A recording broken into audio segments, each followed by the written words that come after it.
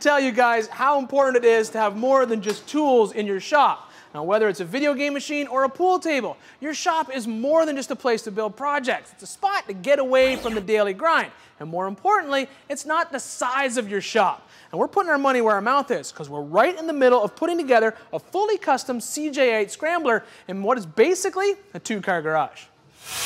You see, we took the area under the mezzanine and built our own small garage. Then using common hand tools, we started with the drivetrain, building a set of custom 14 bolt axles, both front and rear. And then hung them on a Rusty's off-road 4-link TJ suspension kit under a throttle down customs hybrid frame. Now today, we're gonna get the axles and suspension back under this frame as well as a drivetrain, wheels, and tires so we have a true rolling chassis. We'll drop a body on it and we will even do some custom fabrication even though we just have common hand tools in our small garage. It all starts with this bad boy right here, a 100% aluminum factory replacement scrambler body that we got from Aqualu Industries. Now this body is a great choice for our project. I know that the four grand price tag might seem high for a budget build, but when we looked at a used CJ8, almost all of them were in pretty rough shape. That's gonna mean a pile of bodywork.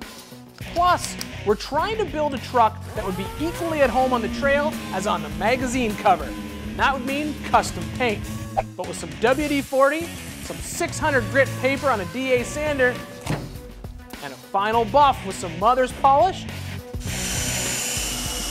this body will look like chrome. Nice job, Chris. I like that mirror shine. Thanks, man. Now to mount this body onto the frame, we're gonna be using Daystar polyurethane mounts. Now these mounts have an integrated one inch body lift to raise the body off the frame. Plus the polyurethane will last forever and resist drying out and even cracking.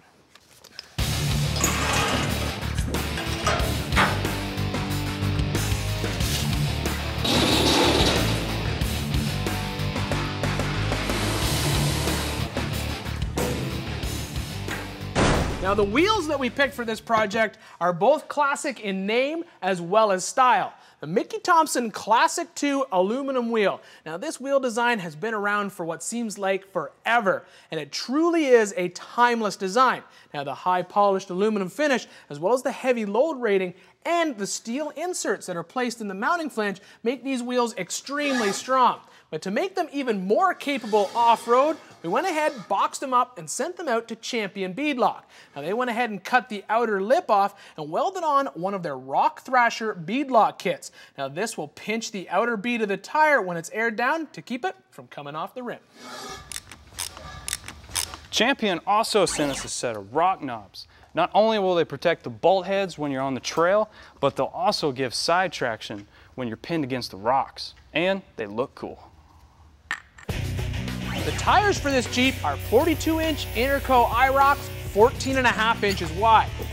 The scalloped three stage lug design really tears into the terrain. Plus the integrated side biters, along with the four ply sidewall, can handle some serious compression when aired down. Now, one of the points of this particular project is to prove that we listen to what you guys want to see on the show, like building a complete truck in a small two-car garage. And when it came to the drivetrain, we really put our money where our mouth is. For the engine, we got to choose it. We chose an old school 383 Chevrolet small block, just a great all-around engine. But when it came to the transmission and transfer case, we put the power in your hands. We Put a poll on our website and let you guys pick from a bunch of different options. And you picked a great one, a turbo 400 three-speed automatic backed by a new Process 205 that we're gonna install with a bit of a twist. First things first, we're gonna need some motor mounts. So with a mock-up 400 bolted to the back of our engine, we'll swing the whole package into the frame, cut up some tube. Now keeping with our theme, we're just gonna use simple hand tools like a grinder and a 110 volt welder.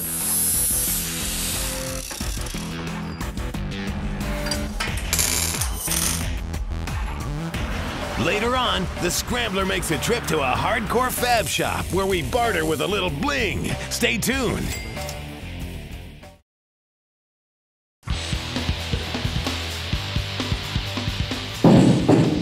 We are right in the middle of putting together our 100% custom CJ8 Scrambler inside our small two-car garage. Now originally we dropped the body on the frame to check for clearance against the back of the engine. And now we've pulled it back off to deal with the transfer cases as well as the cross member. Now it's just going to be easier to work here without the body in the way. When it comes to transfer cases, it was your choice as to what we use. Thanks, Chris. Yep. And you guys made a great pick. The new Process 205 is possibly one of the strongest OEM cast iron all gear transfer cases you can choose. Now, there's always been one problem with this case, and that is that it only has a 1.96 to 1 low range ratio, which just isn't good enough for crawling. So here's the twist that we're going to throw in. We're going to install the range box off of a 203 transfer case. That will, in essence, double our low range ratio of this case, but for that, we're going to need some parts. Now it's all going to start with an Off-Road Designs doubler kit. Now this is a machined piece of billet 6061 aluminum. It's designed to accept the 203 range box on the front side and then adapt it so the 205 transfer case can bolt up to the back. Now this will give us two different low range ratios, a 2 to 1 as well as a 4 to 1. Now this isn't too bad, but we're going to go one step further. We're going to tear apart the 205 and rebuild it using a JB Conversions Low Max 3 to 1 kit. Now this is not only an upgraded housing for the 205, but it also has stronger and more importantly larger gears. Now the larger gears will give us a low range of 3 to 1. Now that means that in this combination we can have a 1 to 1 high, a 2 to 1 low, a 3 to 1 low, and a 6 to 1 low. Ready?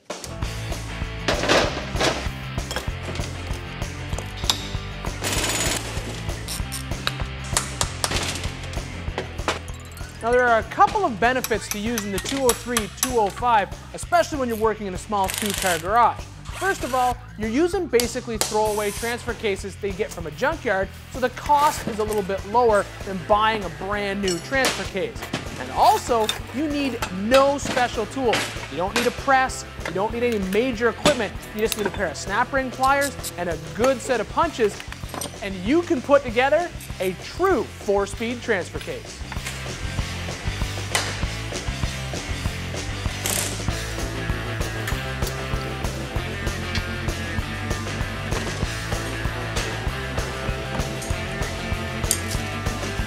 Now, one of the cool things about Jeeps is that the transmission mount is integrated into the skid plate. So all we have to do is mount it up underneath the frame, and then we can mark and drill the locations for this rear mount. Now we'll also add a second mount off the back of this 205 to help take up some of the weight from this extra heavy duty case.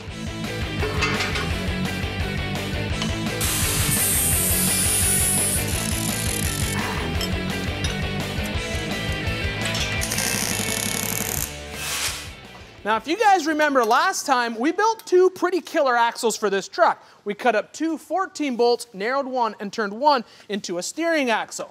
Now, we only had yeah, there we go. Now we only had a 110 volt welder in the shop to tack on this TJ Link mount kit that we got from Rusty's Off-Road. So we carried them out to a welding shop and had them fully welded because we're only working in a small two-car garage. And now they're back here to have all the lockers, gears, and shafts installed. Now, we've shown you guys that a lot. But there's one thing that we want to spend some time right now talking about, and that's this front axle. Nobody has ever built this axle from a manufacturer. So there's a lot of little things you got to keep your eye on when you're building a 100% custom front axle. That is what we're going to talk about.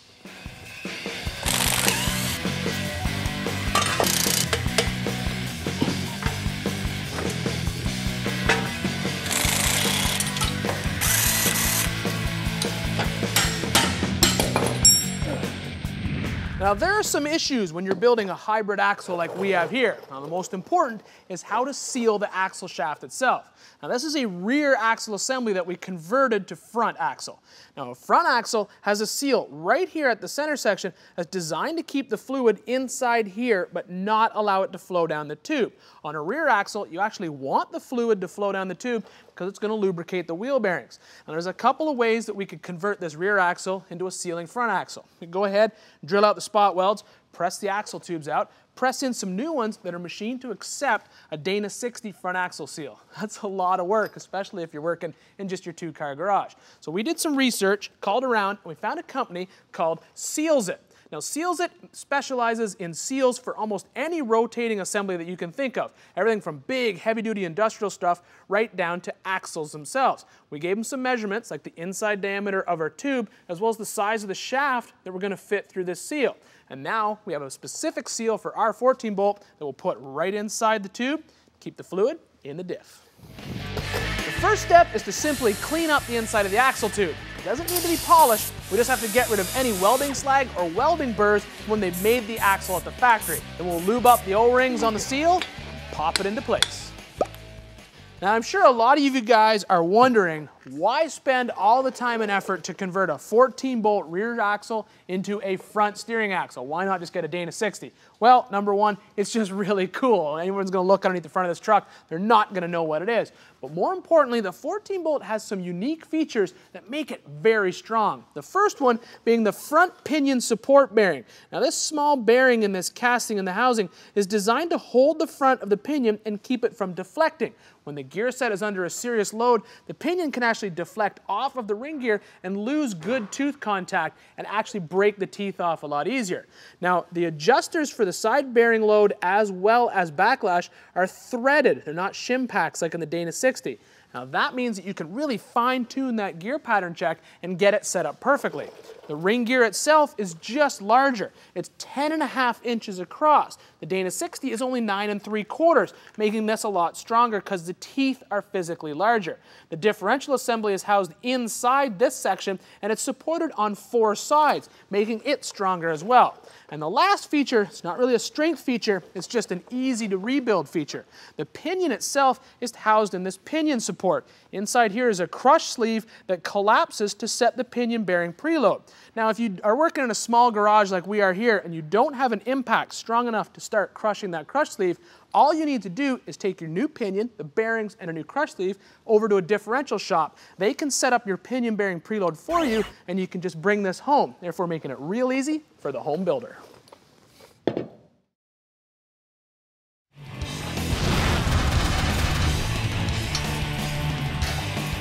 Welcome back to the Xtreme Shop, where our CJ8 Scrambler is coming together in our bare bones two car garage. Ian and Chris are using just basic tools to prove you don't need 20 grand worth of shop equipment to build a custom Jeep at home. Now, obviously, we're just mocking everything into place to take some critical measurements and also take care of a few little details. Now, the front axle, we went ahead and installed a spindle as well as a used rotor hat and rotor to measure for the axle shafts that we're going to order from Randy's Ring and Pinion. And now we're going to take care of a couple issues that came up earlier. Now, we installed a 5-inch suspension system right out of the box when we first put this thing on here. The problem is, is we saw the Jeep just sat a little bit too tall. So we called up Rusty's Off-Road, and they sent us the shorter 3-inch coil springs for this kit, and that'll just bring the center of gravity down a little bit lower.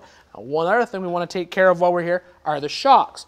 Now the shocks that come with the kit, they're a good shock. Just a typical gas-charged monotube shock. The problem is, is they can actually limit the articulation. The upper pin mount is obviously stiff, and then the bottom poly bushing mount on the axle doesn't really give the axle a lot of flexibility. So we're going to install a set of QA1 Adventure Series shocks. Now the nice thing about these shocks is they are fully rebuildable and tunable, so we can tear them down and change the valving pack to fine tune on our suspension. But the really cool feature is that the upper mount is like a ball joint, allows for 30 degrees of movement on the top end of the shock. And the bottom is the same thing. It's a QA1 spherical rod end with misalignment spacers built in place. So once these are bolted to our axle, it'll help our Jeep flex when we're on the trail.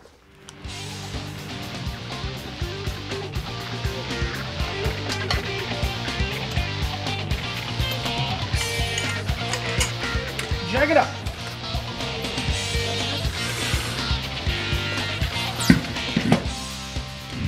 Now, obviously, you guys have figured out just because we're building this Jeep in a small two car garage, we're not holding back on the custom touches. And that doesn't end with our seats.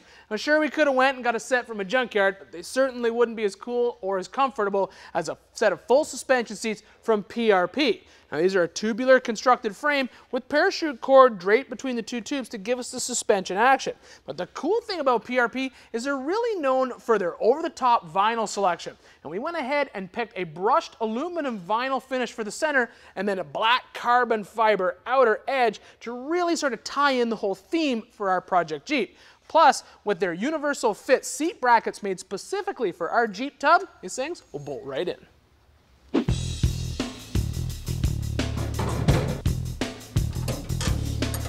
With the seats in place, it's time for a cage. Now that's usually not a problem for us here at Xtreme because we got the benders, notchers, grinders, and welders. But because we're working in a small two-car garage, we're gonna have to come up with a different plan. You'll see that after the break.